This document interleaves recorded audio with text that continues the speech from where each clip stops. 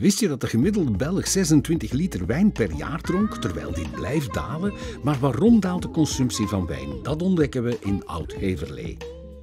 Voor de toekomst van de wijnsector zien wij vier trends vandaag. En dat is in eerste instantie uh, authenticiteit en de duurzaamheid uh, van de wijn. Authenticiteit, daarmee bedoelen we dat de klant op zoek is naar meer originaliteit. De klant wil een avontuur en een beleving rond wijn. En voor uh, het klimaat natuurlijk speelt ook een belangrijke rol. Het milieu, gezondheid speelt allemaal een belangrijke rol. Dus we zien een richting in de biologische kant van wijn. Wel, wij spelen als wijneducator in op die markttrends door um, vaak bijvoorbeeld te werken met uh, cool climate wijn. Dat zijn wijnen met een lage alcoholgehalte, vaak meer finesse en ook vaak een heel goede expressie van de terroir.